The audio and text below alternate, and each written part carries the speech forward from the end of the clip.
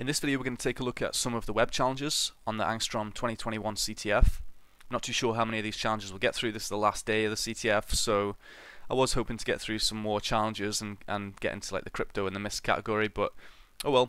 We'll see how many challenges we can get through here, and any scripts that are created will be uploaded onto GitHub. You can jump between the chapters at the bottom of the video or in the description. And if you like the video, drop it a like and subscribe. Thanks. The first challenge is called Jar, and the description says, My other pickle challenges seem to be giving you all a hard time, so here's a simpler one to get you warmed up. So we're given a link to the web website we need to go and test out. We have a picture of a pickle jar here, and then we have some files to download as well. So we have a Python file the pickle image and a Docker file as well. So I've already got these downloaded. Let's go and let's go and have a look at the website first of all though. Let's go and get Burp Suite running as well.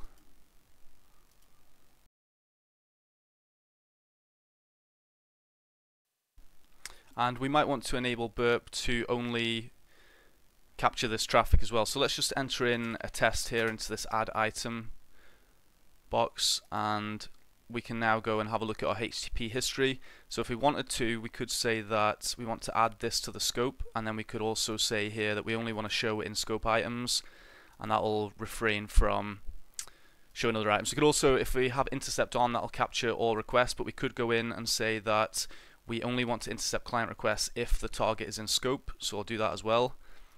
And this means that if we were to do that again, we can see that we have our hello there. Let's say test as well, add another item, and you'll see it's intercepted that request but if we go and have a look at say Google or DuckDuckGo it won't intercept that request so with that request intercepted we can go and have a look at it we can see we've got a cookie here with um, a base 64 encoded value so we could grab that and go over to Hackverter and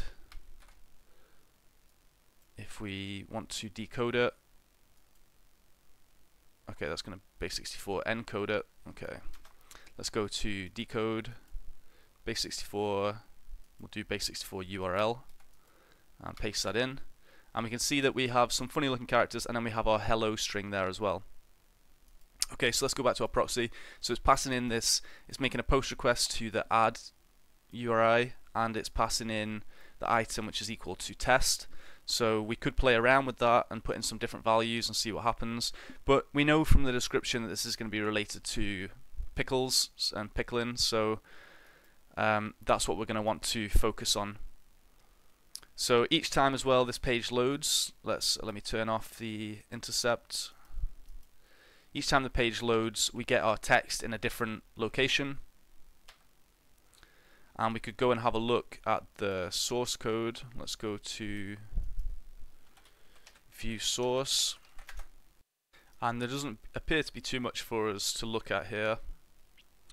So let's go back and let's go and have a look at the local source code and see what's going on. So we can open up jar.py. So the first thing you'll notice is we have the flag variable declared at the top, which is calling os and it's either going to grab the flag environment variable, or if that doesn't exist, it'll use this def default value instead. We then have the app root for pickle.jpg, which is simply going to return the pickle image.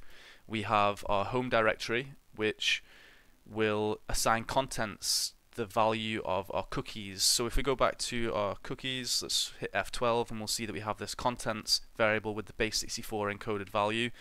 So it's going to grab that, it's going to base64 decode it like we did in Hackverter and found the hello string and then it's going to load it with pickle.loads then it, uh, th this this is what will happen if there's a contents inside the contents variable. So if there was a cookie, otherwise it'll create a new list. And for each item in the items list, it's then going to randomly print it somewhere on the screen.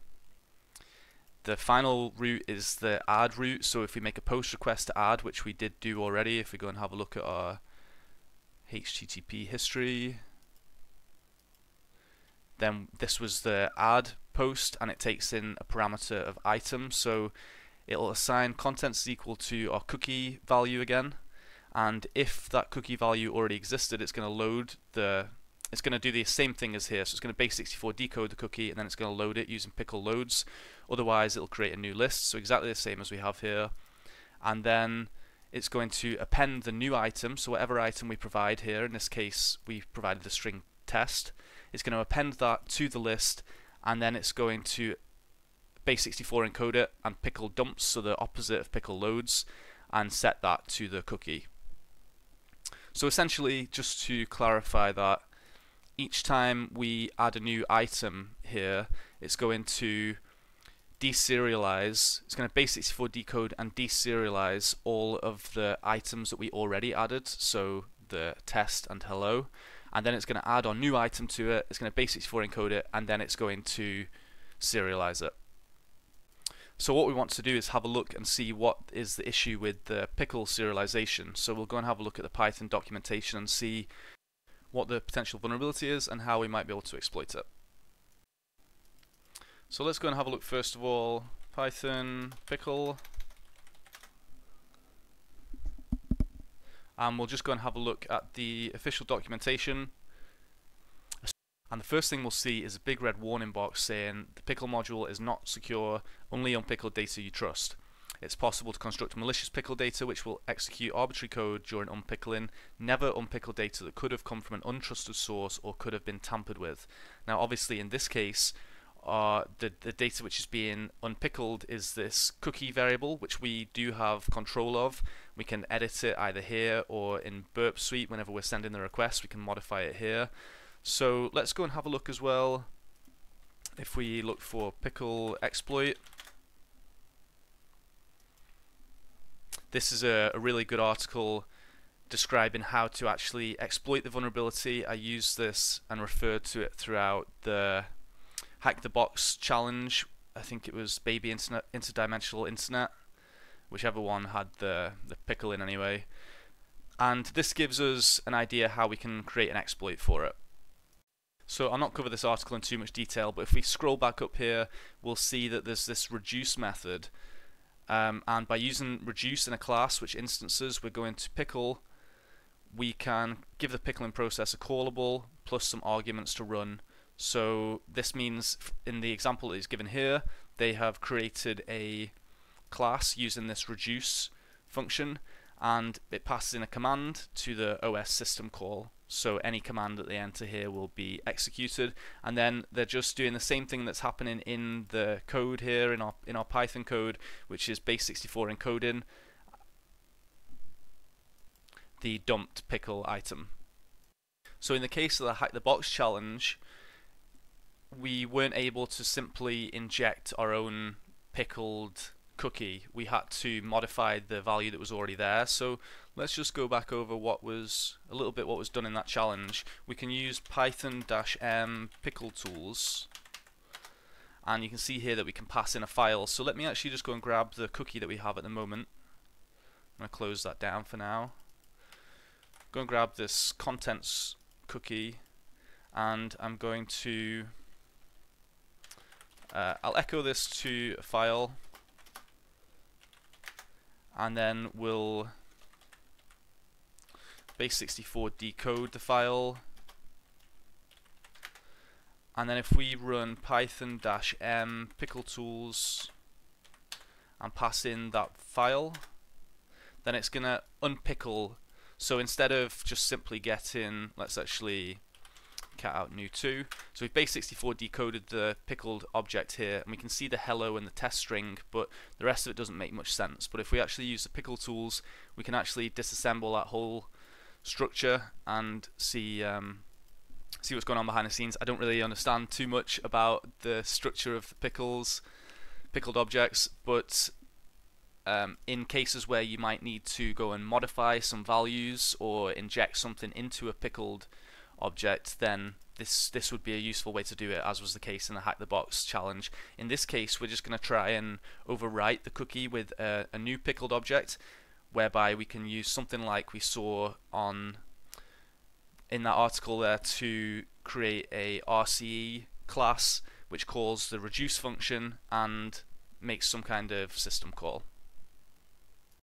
So let's get this test out locally as well. We have a Docker file which was given to us so we can run docker dash or docker build dash file docker file in this current directory and let it run through the steps to install whatever it needs to.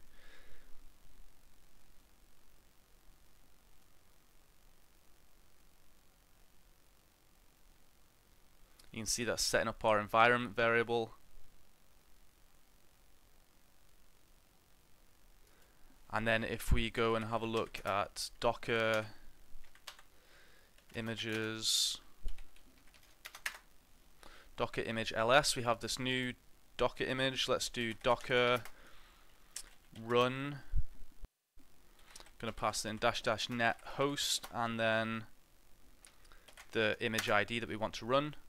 And you can see that's launched that as a local server, so let's go and try and open that up. You can see, yep, it's taken us to our pickle. So if we go and try and add a new item here, just say hello, add item, and we can go back to our terminal and actually see that any requests that are made here we'll be able to view as well, which means we could also go to our source code and make some modifications if we were trying to debug this locally. That could be that could be quite handy. But let's try and get this tested out locally and then we'll test it on the remote server. So I've already got a script created uh, created to do this exploit.py so let's take a look at it it's essentially just what we saw on that on that site we have our class which is called RCE but it doesn't doesn't matter we have our reduce function which will call this callable object and it'll pass in then the parameters. So in this case we're using os.get environment to get this environment variable, a flag, and then we're simply returning that. And then right here we're pickling it, we're base64 encoding it in a URL safe manner, and then printing it out. So if I go back here and run python exploit.py, it's going to give us a cookie value. So let's go and have a look on our local server first of all. If we replace the cookie and then hit F5, do we get a flag? And it looks like we do. So if we go back to the server and test the same thing out, let's replace the cookie and refresh the page, and we also get a flag. Although notice that each time we refresh the page, the ordering of this flag is different, so it would be quite a difficult task to try and work out what order these characters should actually go in. Luckily we don't need to, so if we go to F12 and go to our inspector, let's go and have a look at the contents here, and we'll see that actually it's in the right order if we have a look at our divs here. So we could go through and we could we could grab each of these values, or we could do that with some JavaScript. So if we say var divs is equal to document dot get elements by tag name. We want to grab, there was no name specified, we just want to grab all divs. And now if we, let's set up a flag variable as well, I'll just set this to be, to be empty. And then we'll say for for i equals 0 i less than divs dot length i plus plus. I'm going to loop through and we're going to say flag is plus equals divs i, so whichever element we're looping through, the inner text. And there we have our flag. So we could also print that out, we could use alert as well. And there you can see we have our flag, we can go and submit that. So that's the pickle challenge done. Let's have a look at the Sea of Quills. The second challenge is called Sea of Quills and the description says come check out a finer selection of quills and then we have a Ruby file as well to download so let's open up the link to the site we've already got the Ruby file downloaded as well I'll open that up let's just go and test the site out first of all though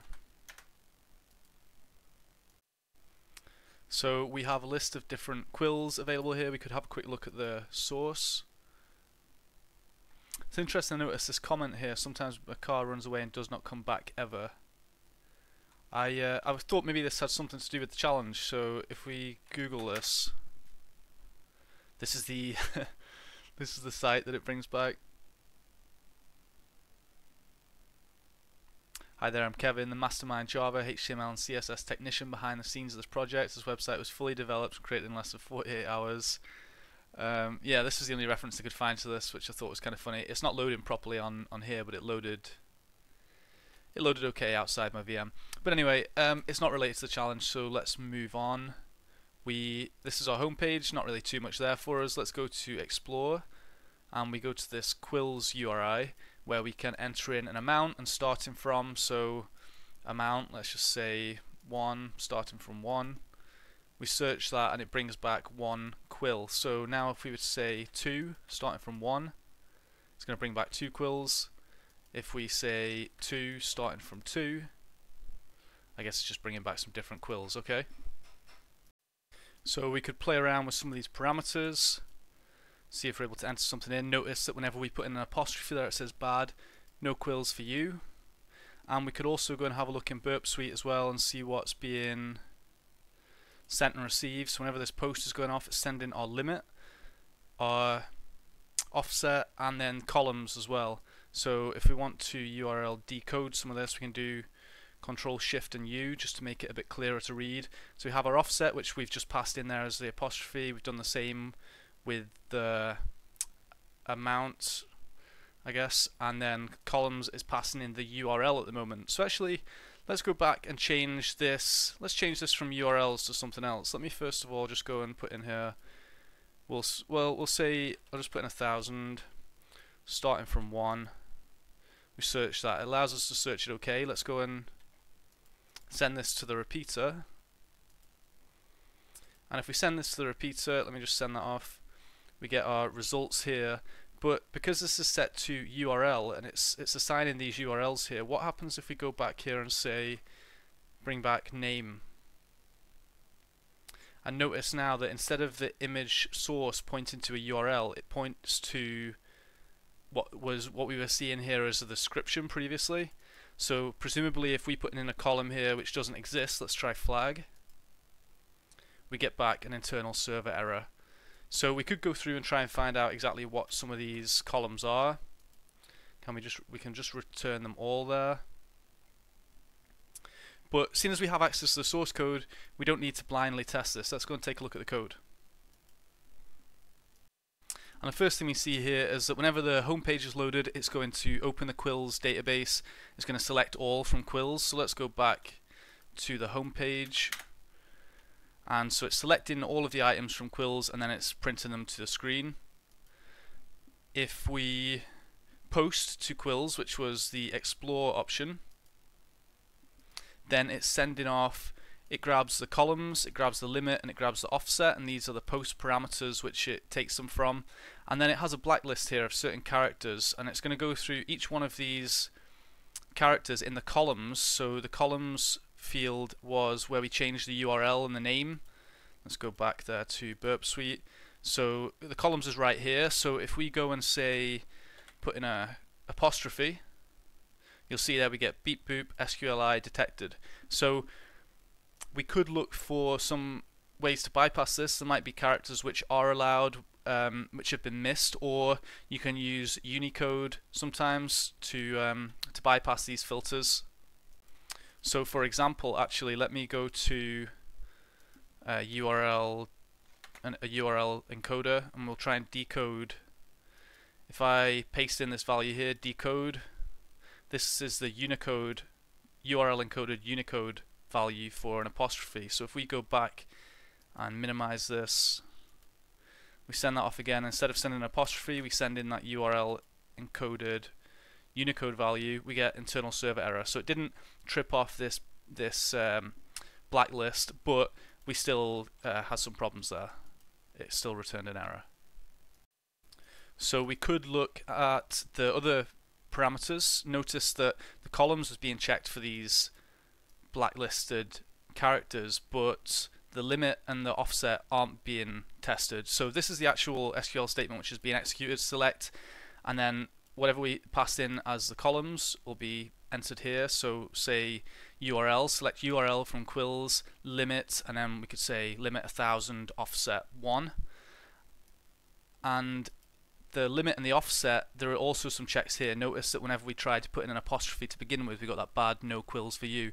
So this looks to be secure as far as I can tell. It's it's ensuring that it starts with 0 to 9 and it ends with 0 to 9 and that's all that's allowed in between so anything else we enter is going to re return that bad no quills for you so I spent quite a while actually longer than I should have spent um, trying to uh, play around with the encoding to try and get some union statements and things working here without properly focusing on what the actual SQL statement is doing I also tried I figured if we could um, encode the comments, so if we could encode the dash character or hyphen character, and then we could say select all from the SQLite master table to try and find out what table names exist, and then just comment out the rest of the code. I also tried then commenting out the rest, but also inserting these percentage %s to deal with these other parameters. None of that seemed to work for me, so the solution that I eventually came to was to insert a union statement without any characters at all. We don't actually need any characters. So in this example, we're taking in this select and then the string. Well, what we could do is just insert as our string, select, let's say, name from SQLite master, but then we have the rest of this code, which I was initially trying to comment out, but instead we could just say, well, we'll also then union select name from quills. So we're selecting name from SQLite master and we're union we're doing a union query with the name from quills and then the limit and the offset can just go ahead as normal. So I'll take this out here, I was just putting that in just to demonstrate what we're aiming to do. And let's go back to our burp suite and in here we'll just go back to what we had. So in columns, instead of just saying we want to select name from quills, we're going to say we want to select name from SQLite master. And then we want to union with select name and it's just then going to take do the rest of the statement select a name from quills. So we can URL encode that. Let's just do control and U there and send that off and we get an internal server error let me see if I just take this out and that seems to have run okay this time so we can go and have a look and we'll see that we have some of our descriptions here in stock in stock as well. The first thing we see is flag table. So there's another table called flag table. If we wanted to, we could also show response in browser. You can just grab a copy of this URL and then open it up.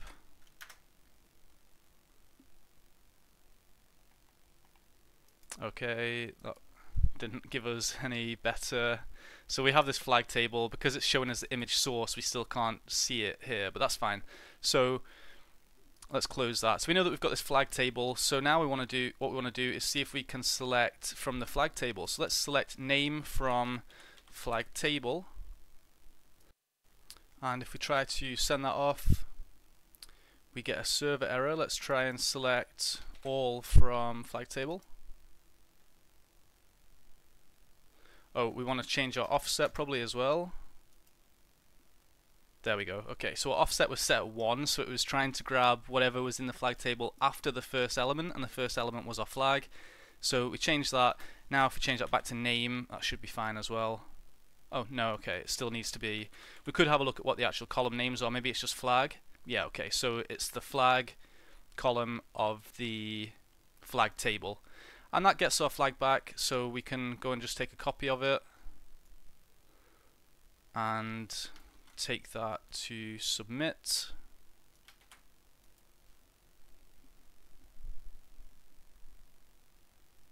and that's the Sea of Quills challenge solved.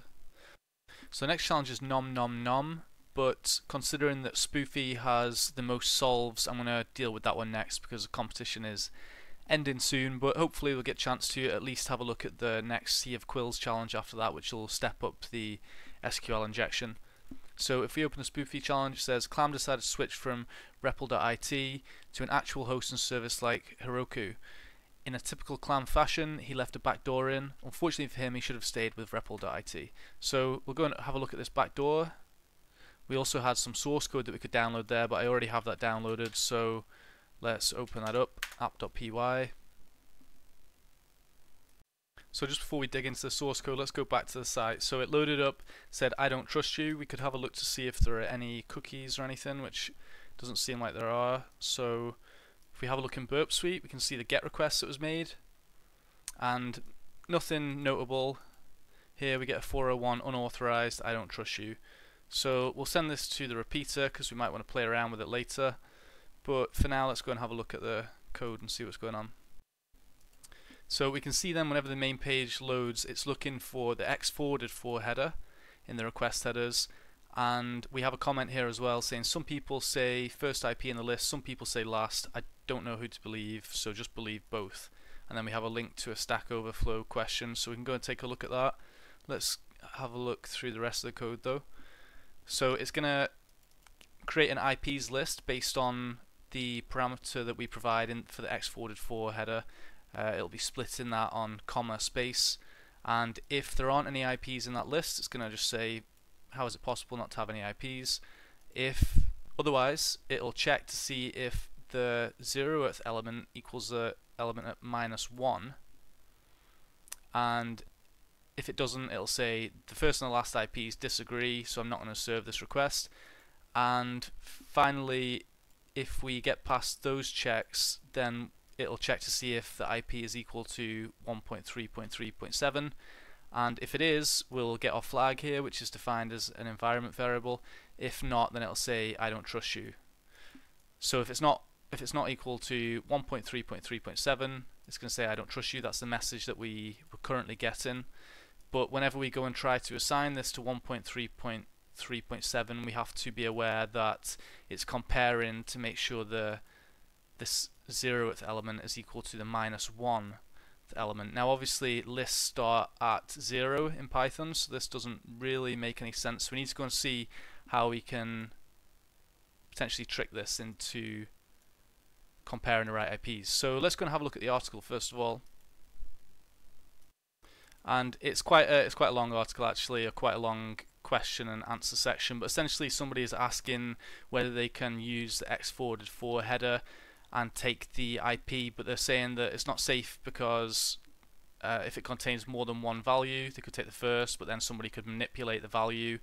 So um, you have some responses here, people explaining how it works and how this, um, giving some examples here of providing multiple IPs in the X forwarded for header.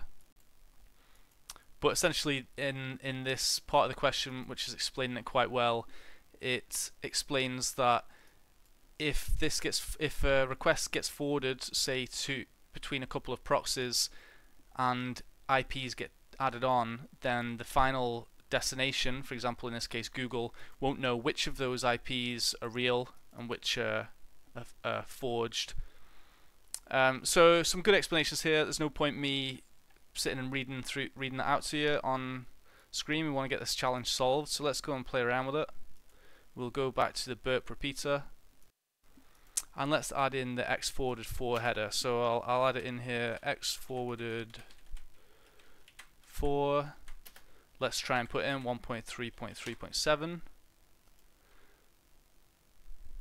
we send that off and we get the first and the last IPs disagree so I'm just not going to serve this request so we can try that again 1.3.3.7 so now we're passing in a list. We know that this is going to split based on the comma space. So this is going to give it two IPs so we'll hit send again. And we get the disagree. So in this kind of case we might want to go and set this up locally and test this out and see exactly you know use some login to see what's going on behind the scenes. Where's my burp suite gone?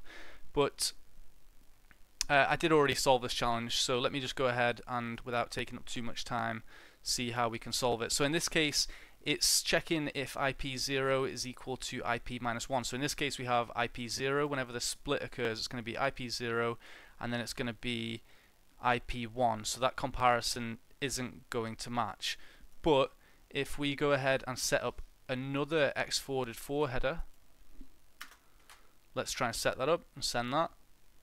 You see we still get the IPs disagree, not going to serve this request. What if we add this another 1.3.37 so now both of these exported headers both equal the same values so if it receives two of those then we get our flag back. Hello, Leet Hackster, here's the flag. Spoofing is quite spiffy. So we can go take that and submit it. And we solve that challenge. The final web challenge we'll be taking a look at is Sea of Quills 2. So the competition is actually over already, but these files are still available to download, and actually the servers still seem to be up and running to test remotely as well. Now, I'm assuming the servers will go down, but hopefully the files will stay up because I can see that looking at previous years, if we go and have a look at the 2019 CTF and have a look in the challenges section, although the services are down, we can still go and download binaries. So for example, right here, we can download the I like it, and we can still do the reverse engineering challenges. Even some of the web challenges, sometimes they have Docker files or source code available, so you might be able to do some of the previous challenges locally as well. But for now, the services still seem to be up and running, so let's go and solve the Sea of Quills 2 challenge. So the description here says, a little bird told me my original quill store was vulnerable to illegal hacking. I fixed my store now though, and it should be now impossible to hack. So we can go and open up the site. We've also got the source code available to us, and let's go and let's go and take a look at the site first of all. So it looks very similar to the first site that we dealt with. Let's go to the explore section and everything's looking quite similar. So we can put in here an amount. Let's put in a thousand. Starting from I'll put in zero. This was the offset on the last example that we went through. And then if we go into Burp Suite and have a look at our po post request we'll send this to the repeater. And yeah, this is very similar to, so in our last example, uh, let's actually, let's open up the code and try and compare this to the Sea of Quills 1 challenge. So in Sea of Quills 1, we had a blacklist and we had all of these characters blacklisted as well, but we didn't have flag blacklisted. And also we had this regex around the limit and the the offset parameters, but we didn't have this column's length uh, greater than 24. So essentially, whatever we enter in our columns field here needs to be less than 25 characters long, and it can't contain the word flag either. So in our last example, we were able to inject in here, so instead of saying select, um, say all star from quills, we were able to say select name from SQLite master, union select name from quills. So let me just give an example of that again. Actually, I'll copy this over from our previous example. Let me just create a new row here to visualize this. So this is our original SQL statement, but if we, without even needing to inject any quotes or anything like that, we could simply ensure that this string, in this string uh, placeholder, we can enter select name from SQLite master, union select name from quills, limit offset, and that worked fine for us on the last example. So let's go and test that out first of all on the remote server and see what's different. So if we replace our columns field, instead of saying we want to retrieve the URL, we're going to say we want to retrieve name from SQLite master, union select name. We'll do control and U to URL encoder and send that off and we get back bad no quills for you so it hasn't got to the beep boop SQLI detected because we haven't entered any of these characters we haven't entered flag but it's got down here to the bad no quills for you because it's greater than 25 characters so we know from the first challenge that we were grabbing a flag so we were selecting flag from flag table and then we would we that's how we eventually got the flag. We we grabbed the table names from the SQLite master table, and then we found out the the name that we needed to look for. So if we if we send that off, we're now going to get beep boop SQLite detected. But we know that SQLite doesn't um, have case sensitive table names and column names, so we could just go and change these flag strings to capitals and send that off and that works out fine but we're still over the character limit so I spent a little bit of time trying to solve this by injecting comments to the end. So rather than having our union there, if we were able to just uh, insert our comments. But obviously the this is this is blocked, so we're not going to be able to send that off. So I was trying to do various types of encoding, Unicode and hex encoding things to try and get that working, and I didn't actually get it working, but it was quite annoying because in the first challenge, while trying to solve that, I had tested out using a null byte, and then I never actually tested it out when I got to the second challenge. But if we send that off with a null byte at the end, you'll see there we get back our flag right here. We can open this up if we want to in the browser. If we copy that, it won't actually show because it's the image source, but if we inspect the element here and see the image and it's tried to load the image from and then that's our flag. So that was the Sea of Quills challenge 2 anyway and that'll wrap it up for this video. I might go through and solve some of the some more of the challenges, maybe have a look at crypto and MISC categories and some more of the reverse engineering and binary exploitation challenges. So yeah, if people want to see more of these um, video walkthroughs, then let me know what you're interested in seeing in the description. Uh, sorry, in the comments, and uh, I'll try and and take uh, act on some feedback. Anyway, I hope you've enjoyed the video. If you have, then drop a like, and any questions, comments, leave them down below. Thanks.